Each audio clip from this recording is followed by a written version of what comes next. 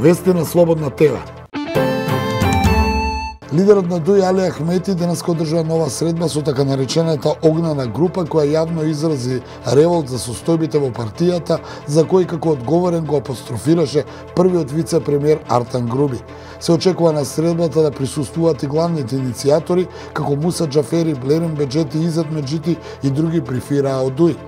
Ова ќе биде втора средба на Ахмети со незадоволните интегративци, откако минатиот четврток тој имаше две одделни средби со ограноците од Чаир и Сарај, од каде што доаѓаат поголем дел од огнените. Поднесено е обвинение против екс-генералниот секретар на владата Мухамед Закири. Тој се гони за злоупотреба на службената положба и овластување, односно дека во повеќе наврати без јавна набавка избрал фирми на кои им исплакал владени пари. Обвинителството тврди дека Закири го оштетил буџетот за скоро 1,5 милиони евра кои завршиле во приватни фирми. Освен за Кири, обвинети се и хрватски државјани, дел од фирмата која обавувала консултантски услуги без да бидат избрани на тендер. Сметајќи дека се уште постојат околностите врз основа на кои на обвинетиот му беше определена мерката куќен притвор, предметниот обвинител на судот му предложил незено продолжување. Побарано е време да се направат одредени дополнителни пресметки, зашто во периодот што доаѓа е донесувањето на буџетот за новата година, изјави професор доктор Ангел Ристов, председател на Сојузот на синдикатите на Универзитетот Свети Кирил и Методи, по средбата со премиерот и министрите за нивните барања за повисоки плати и подпишување колективен договор. Ристов рече дека тој и членовите на извршниот одбор на синдикатот на УКИМ имале конструктивна средба со премиерот Ковачевски министрите министрите за финансии и за образование и наука, како што рече заклучија дека постои од нивна страна политичка волја да излезат во пресет на барањата на синдикатот.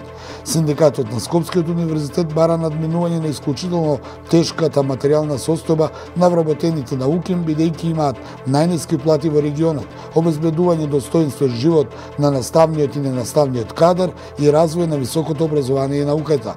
Барањата на синдикатот се подпишување на колективен договор и постепен постепено покачување на платите по 25% на годишно ниво за по 4 години да се достигне 100% покачување. Освен изборот за нов министер на локална самоуправа по оставката на досегашниот, не се планираат други промени во владиниот кабинет. Премиерот Димитар Ковачевски изјави дека владата функционира во полн капацитет и дека не се планира реконструкција. На забелешката дека функционери на СДСМ најавиле мали промени, во владата Ковачевски потенцираше дека станува збор за многу мали промени. Новиот министр за локална самоуправа според Ковачевски ќе биде избран откако ќе биде потврдена оставката на досегашниот министер. Ковачевски изрази задоволство што предлогот од Либерално-демократската партија за оваа позиција е Ристо Пенов, бидејќи како што рече за него тој бил еден од најдобрите градоначалници не само на Скопје, туку воопшто во државата, кој што за себе има голем број на успешни проекти. До него, како што нагласи, се уште не е стигнат официјален допис од ЛДП за предлогот Пенов да биде новиот министер за локална самоуправа, а во собранието се уште не е доставена оставката на досегашниот министер Горан Милевски. Поранешниот бугарски премиер Бојко Борисов се соочува со тешкоти за формирање коалиција, објави Financial Times коментирајќи ги резултатите од изборите во Бугарија одржани во неделата. Изданието наведува дека Централно десничарската партија ГЕРБ на поранешниот премиер Борисов е во водство на четвртите парламентарни избори во Бугарија во последната година и половина, но партијата не успева да го освои потребното мнозинство за формирање владина коалиција во најсиромашната држава во Европската Унија. Изданието наведува кои партии влегуваат во парламентот и колку проценти добиваат ГЕРБ и второпласираната партија предложување на промените на поранешниот премиер Кирил Петков. Весникот додава дека партијата на Петков и другите водечки политички сили ја отфрлаат можноста за коалицирањето со ГЕРБ, што ги зголемува шансите за организирање нови избори во блиска иднина. Изданието наведува кои партии влегуваат во парламентот и колку проценти добиваат ГЕРБ и второпласираната партија предложување на промените на поранешниот премиер Кирил Петков. Весникот додава дека партијата на Петков и другите водечки политички сили ја отфрлаат можноста за коалицирање со ГЕРБ, што ги зголемува шансите за нови избори во блиска иднина. Северна Кореја денеска лансирала нова балистичка ракета што го прелета јапонското копно, соопштија властите во Токио, кои за прв пат по пет години издадоа наредба за евакуација на греганите.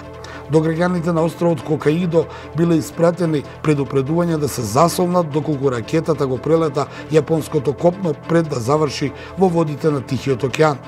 Токио соопшти дека не биле преземени од брамбени мерки за уништувањето на ракетата, прва која прилетува над јапонските острови од 2017 година.